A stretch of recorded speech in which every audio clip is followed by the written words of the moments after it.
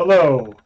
I'm going to do a full Fusion 360 machine simulation on our new Part Maker series. So I uploaded a Haas VF2 simulation and I put an orange vise on the table, which we learned through the Design Academy course on putting a vise in and putting a part in.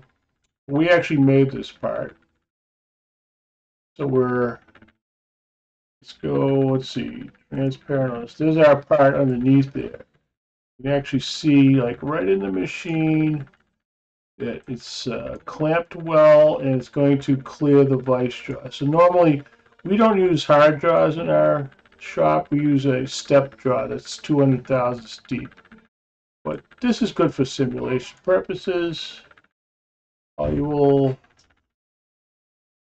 make that solid again. All right.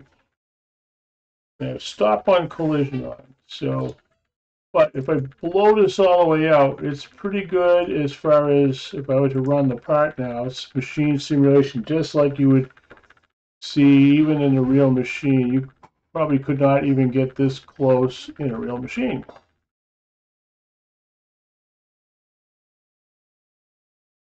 So this is doing the 3D adaptive here, going back and forth roughing. Probably not the most efficient, but that's all right. It's working its way around. But this is actually what's happening in your machine. When you do simulation, you're never really looking at how the part moves. It's always from the tool point of view. But this is really what's happening. I know the uh, tool looks like it's hanging out of the spindle, but it's pretty good for simulation purposes. That's really what's happening. But if I make the machine transparent, you can see through it. There's another view right there.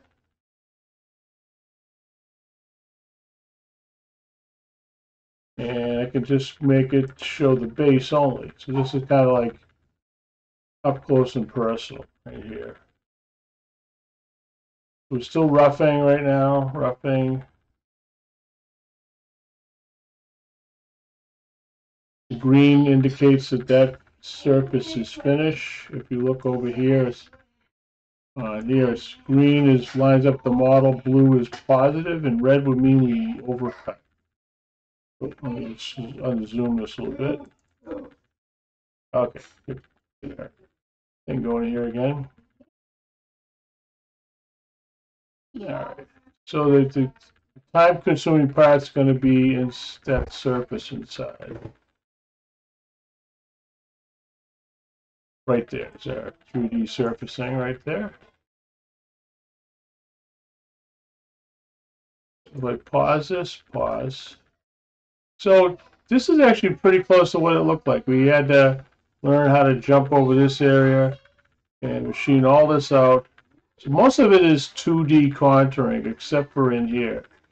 So we used two levels of adaptive, bigger tool and smaller tool to get way down in here. And we had to use three different uh, strategies in here to get the, get the smooth shape.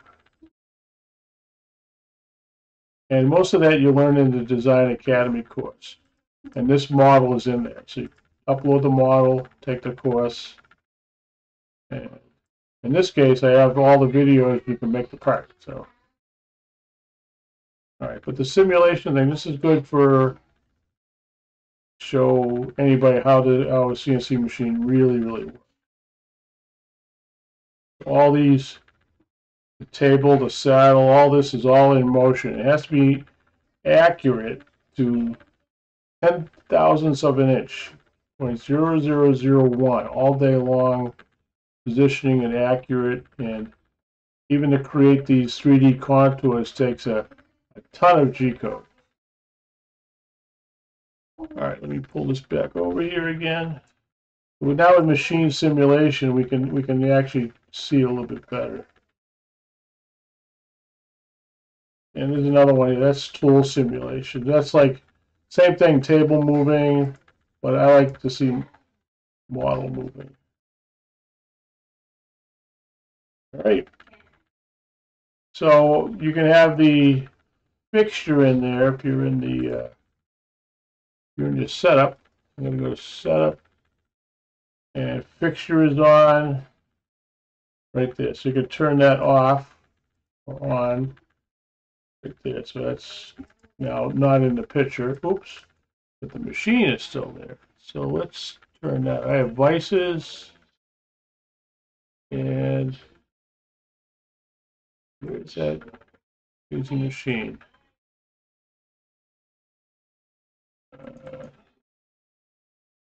Turn, oh, there we go. Turn it off. Now we have the part only. So on this one is edit, and we've identified, we actually selected the simulation machine versus this machine here, which has, uh, it says all the settings that line up to the post processor. So it's really two different animals. You got, uh, let's see. This would be this one, machine simulation. We have two different machines on the mill area. And we have all the settings we need for our machine here. So I actually have in here is edit. I set this all up. Uh, multi-axis, we have one fourth axis. Coolant is air and flood. Post-processing is already redirected at the correct post-processor. Any machining time modification, our spindle is an 8100 spindle. So sometimes if you are programming it above this RPM, it's actually going to give you a warning when you use this. Uh, there's a lot of settings in here, so to use all these processes. So this is all part of that course. So that's operation one, and then we have operation two, which is flipped over. And it's actually, we have to turn this 90 degrees because we're trying to hold it on the flat surface. So if you notice, the flat surfaces are on this side. But we like to have it the long way this way. I actually might change the orientation so we don't get confused. So this is a good, because you have two parallel surfaces and we have a flat surface underneath. So we actually, I don't have it actually aligned, but we were sitting right on that. And we use a work stop like right there. And we get all three coordinates that way. And we have more 3D machining on this side. So this is flat. We deburr, chamfer mill this, and we just 3D mill this here. We got uh, base mill, adaptive, scallop, and then chamfer the top. And we had to play around a little bit to get it to navigate that area. All right, that's about it for me. Talk to you later.